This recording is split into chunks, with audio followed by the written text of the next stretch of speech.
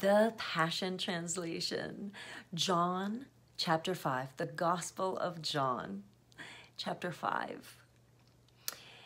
Then Jesus returned to Jerusalem to observe one of the Jewish holy days. Inside the city, near the sheep gate, there's a pool called in Aramaic the House of Loving Kindness. And this pool is surrounded by five covered porches. Hundreds of sick people were laying there on the porches the paralyzed, the blind, the crippled, all of them waiting for their healing. For an angel of God would periodically descend into the pool to stir the waters, and the first one who stepped into the pool after the waters swirled would instantly be healed. Now there was a man who had been disabled for 38 years, lying among the multitudes of the sick. And when Jesus saw him lying there, he knew that the man had been crippled for a long time. So Jesus said to him, Do you truly long to be healed?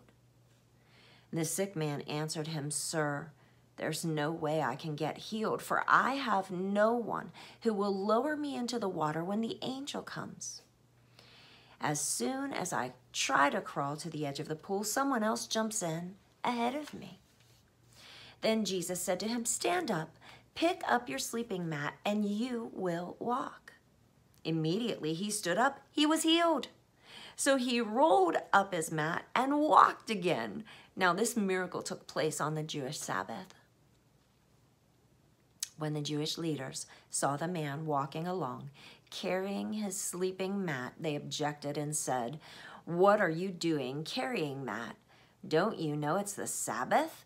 It's not lawful for you to carry things on the Sabbath. He answered them, The man who healed me told me to pick it up and walk. What man? They asked him. Who was this man who ordered you to carry something on the Sabbath? But the healed man couldn't give them an answer, for he didn't yet know who it was, since Jesus had already slipped away into the crowd. A short time later, Jesus found the man at the temple and said to him, Look at you now, you're healed. Walk away from your sins so that nothing worse will happen to you. Then the man went to the Jewish leaders to inform them, It was Jesus who healed me. So from that day forward, the Jewish leaders began to persecute Jesus because of the things he did on the Sabbath. Jesus answered his critics by saying, Every day my Father is at work, and I will be too.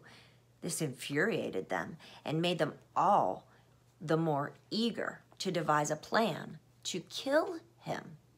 For not only did he break their Sabbath rules, but he called God my Father, which made him equal to God. So Jesus said, I speak to you a timeless truth. The Son is not able to do anything from himself or through my own initiative. I only do the works that I see the Father doing. For the Son does the same works as his Father.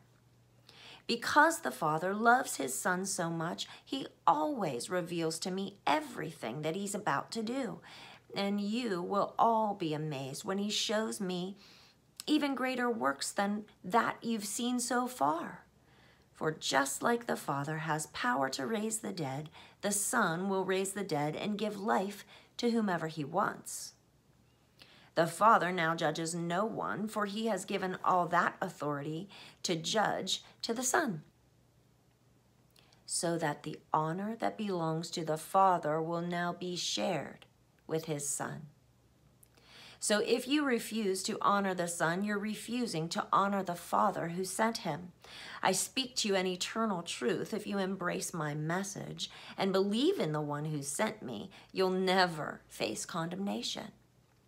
For in me you have already passed from the realm of death into the realm of eternal life. I speak to you eternal truth. Soon the dead will hear the voice of the Son of God, and those who listen will arise to life. For the Father has given the Son the power to impart life, even as the Father imparts life. The Father has transferred to the Son the authority to judge, because he is the Son of Man. So don't be amazed when I tell you these things, for there is a day coming when all who have ever died will hear my voice calling them back to life. And they will come out of their graves. Those who have done what is good will experience a resurrection to eternal life. And those who have practiced evil will taste the resurrection that brings them to condemnation. Nothing I do is from my own initiative, for as I hear the judgment passed by my Father, I execute judgment. And my judgments will be perfect because I can do nothing on my own except to fulfill the desires of my Father who sent me. For if I were to make claims about myself, you would have reasons to doubt, but there is another who bears witness on my behalf, and I know that what he testifies of me is true. You have sent messengers to John, and what he testified about me is true. I have no need to be validated by men, but I'm saying these things so that you will believe and be rescued.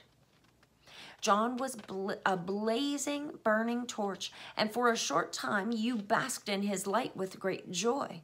But I can provide a more substantial proof of who, who I am that exceeds John's testimony my miracles.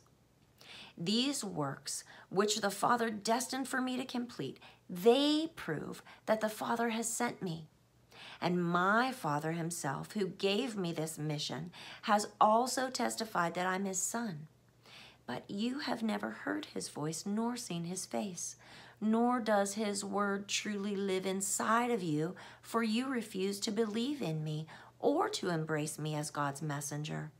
You're busy analyzing the scriptures, frantically poring over them in hopes of gaining eternal life. Everything you read points to me, yet you still refuse to come to me so I can give you the life that you're looking for, eternal life.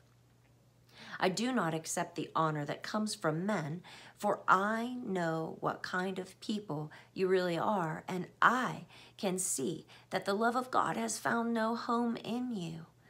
I have come to represent my Father, yet you refuse to embrace me in faith. But when someone comes in their own name and with their own agenda, you readily accept him.